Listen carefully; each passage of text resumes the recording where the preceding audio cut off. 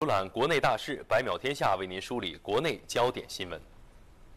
国家统计局昨天公布了二月份全国居民消费价格指数 CPI 和工业生产者出厂价格指数 PPI。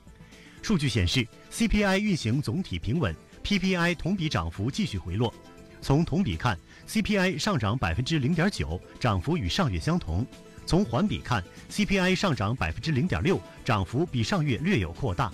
食品中，受春节因素影响，鲜菜、水产品和鲜果价格有所上涨，猪肉和鸡蛋供应充足，价格均有所下降。非食品中，受国际能源价格影响，汽油、柴油等工业消费品价格上涨。国家发改委消息，近期随着各项稳产增产措施的持续推进，全国煤炭产量保持高位水平。二月中下旬以来，全国煤炭日产量持续保持在一千两百万吨以上，同比增长超过百分之十。其中，山西、内蒙古、陕西日产量保持在九百万吨以上。据中国国家铁路集团有限公司消息，二月份国家铁路发送货物两万九千一百七十八万吨，同比增加三百零九万吨，为重点物资运输和国民经济平稳运行提供了有力保障。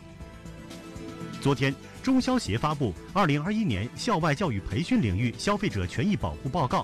报告认为，自教育部市场监管总局等有关部门陆续出台相关监管措施，并开展市场整顿行动以来，消费者权益保护程度总体上得到了明显提升。